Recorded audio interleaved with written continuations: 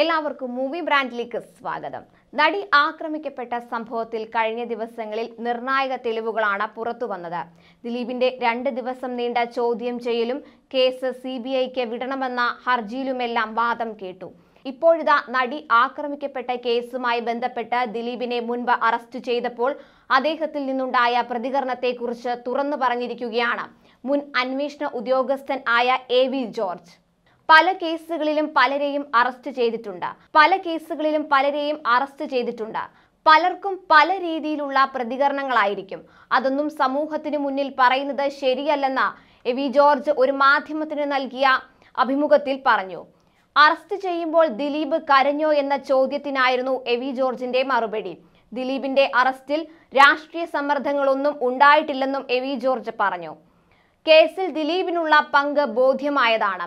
കുറ്റക്കാരനാണെന്ന് വ്യക്തമായതോടെയാണ് ദിലീപിനെ അറസ്റ്റ് ചെയ്തത് എന്നും അദ്ദേഹം പറഞ്ഞു. ദിലീപിന്റെ അറസ്റ്റിൽ സർക്കാരിന്റെയോ രാഷ്ട്രീയ സമ്മർദ്ദങ്ങളോ ഉണ്ടായിട്ടില്ല. അറസ്റ്റിന് മുൻപും ശേഷവും ഉണ്ടായിട്ടില്ല. കേസന്വേഷണം സ്വതന്ത്രമായിരുന്നു. സിനിമാ മേഖലയിൽ നിന്നുള്ള ഒരാൾ കേസിൽ ഉൾപ്പെട്ട് അറസ്റ്റിലായാലുള്ള കാര്യങ്ങൾ ഊഹിക്കാവുന്നതല്ലേ? വസ്തുതകൾ നോക്കി പ്രവർത്തിക്കുന്ന ആളാണ് താൻ. ദിലീപിന്റെ അറസ്റ്റിൽ നിന്ന് തന്നെ പങ്ക് വെളിവാണ്. കുറ്റക്കാരനാണെന്ന ബോധ്യമായതോടെയാണ് അറസ്റ്റ് ചെയ്തത്. എത്രയോ പേരെ ഞാൻ അറസ്റ്റ് ചെയ്തിട്ടുണ്ട്. ദിലീപിനെ അറസ്റ്റ് ചെയ്യുമ്പോൾ മറ്റൊന്നും തോന്നിയിട്ടില്ല. പല ആളുകളെയും അറസ്റ്റ് ചെയ്യുമ്പോൾ പല രീതിയിലുള്ള പ്രതികരണങ്ങൾ ഉണ്ടാകും. അത് ദിലീപ് അല്ല ആരാണെങ്കിലും മദ്യപിച്ച ആളാണെങ്കിലും പല പ്രതികരണമായിരിക്കും ഉണ്ടാവുക. അതൊക്കെ വിളിച്ചു പറഞ്ഞ് അയാൾ ഇങ്ങനെ അങ്ങനെ എന്ന് പറയുന്നത് ശരിയല്ല. എല്ലാം രഹസ്യമായി സൂക്ഷിക്കുകയാണ് ചെയ്യേണ്ടത്. വധഗൂഢാലോചന കേസിൽ അന്വേഷണം നടക്കുന്നതുകൊണ്ട് കൂടുതലൊന്നും പറയുന്നില്ലെന്നും ബാലചന്ദ്രകുമാറിനെ തനിക്ക് അറിയില്ലെന്നും അദ്ദേഹം പറഞ്ഞു. അതേസമയം നടിയെ ആക്രമിച്ച കേസിലെ പ്രതിയായ ദിലീപിന്റെ കാർ ക്രൈംബ്രാഞ്ച് കസ്റ്റഡിയിലെടുത്തു. ദിലീപിന്റെ ആലുവയിലെ വീടായ പത്മസരോവരത്തിലെത്തിയാണ് സ്വിഫ്റ്റ് കാർ പിടിച്ചെടുത്തത്. ഗൂഢാലോചനയിലെ തെളിവാണ് ഈ കാർ എന്നാണ് അന്വേഷണ സംഘം പറയുന്നത്. കാർ രേഖാമൂലം കസ്റ്റഡിയിലെടുത്ത ശേഷം ദിലീപിന്റെ വീട്ടിൽ തന്നെ ഇട്ടിരിക്കുകയാണ് പോലീസ്. കാർ കൊണ്ടുപോകാൻ കഴിയാത്തതിനെ തുടർന്നാണ് അന്വേഷണ സംഘത്തിന്റെ ഈ നടപടി. കാർ വർക്ക്ഷോപ്പിലാണെന്നാണ് ദിലീപ് കഴിഞ്ഞ ദിവസത്തെ ചോദ്യം ചെയ്യലിനിടയിൽ അന്വേഷണ സംഘത്തോട് പറഞ്ഞത്. കാർ കസ്റ്റഡിയിലെടുക്കാനായി പോലീസ് വർക്ക്ഷോപ്പിലെത്തിയപ്പോൾ വാഹനം അവിടെ ഉണ്ടായിരുന്നില്ല തുടർന്ന് അന്വേഷണ സംഘം ദിലീപിന്റെ ആലുവയിലെ വീടായ പത്മസരോവരത്തിൽ എത്തുകയായിരുന്നു വീട്ടുമുറ്റത്ത് കാർ പാർക്ക് ചെയ്ത നിലയിൽ കണ്ടെത്തുകയും ചെയ്തു.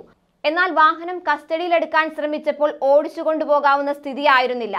ആവശ്യപ്പെടുന്ന സമയത്ത് കാർ എത്തിച്ചു നൽകണമെന്ന ഉപാധിയിൽ വാഹനം രേഖാമൂലം കസ്റ്റഡിയിലെടുത്ത ശേഷം അന്വേഷണ സംഘം തിരികെ പോന്നു. ഗൂഢാലോചന കേസിലെ തെളിവാണ് ദിലീപിന്റെ സ്വിഫ്റ്റ് കാർ എന്നാണ് അന്വേഷണ സംഘം പറയുന്നത്.